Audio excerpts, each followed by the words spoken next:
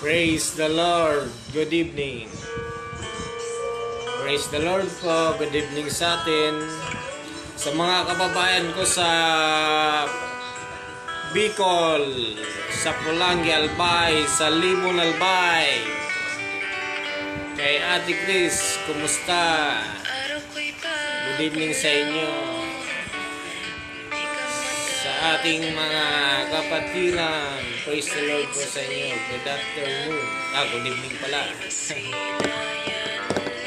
sa Magaragad, sa San Pascual, sa Magalyang Libon Albay. Kumusta?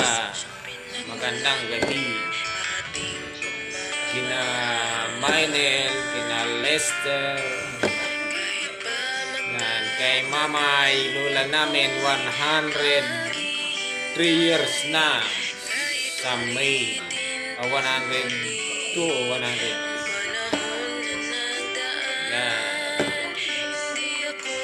102 years sa birthday ng aming lola sa Magalyang, Libon Albay. Yun, kina Maynel sa Magaragad, kina Popo, kina Kuya Rode, Kuya Alex, kina Kuya Alan, kay Elben, kay Ro- kina Romel, good evening sa inyo dyan. Sa pamilya Ilauro sa sa Bicol. Ipagsigawan sa mundong mahal na mahal kita Good evening. kahit pa matagal Ah, sa Magaragad, fiesta sa kanila.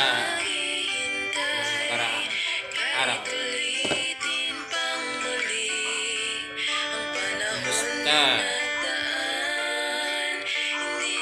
Pa-subscribe po ng ating YouTube channel, George Raposon TV Show.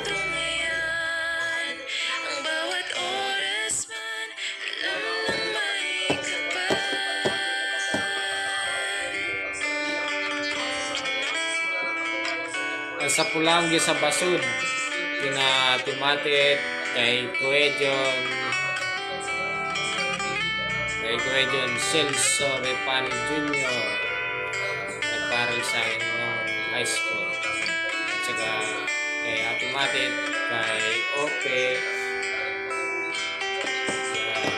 sa, kanyang mga anak.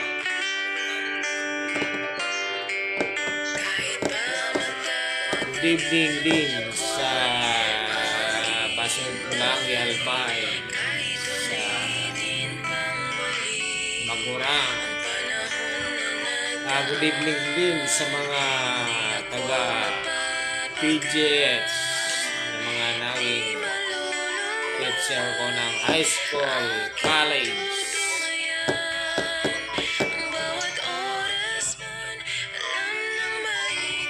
Yan, nanonood po tayo ng balita ngayon.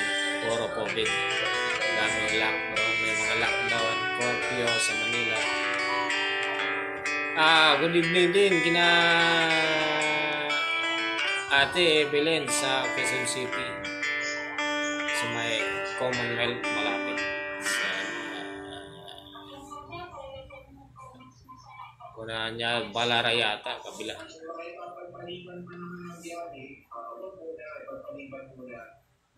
kautusan ng Civil Aeronautics Board ang Manila International Airport Authority sa mga airline company na kasama sila sa pagmamonitor para masiguro na susunod ang Praise the Lord. pero Philippine Airlines ay plano mag-discard dito. They're planning to divert uh,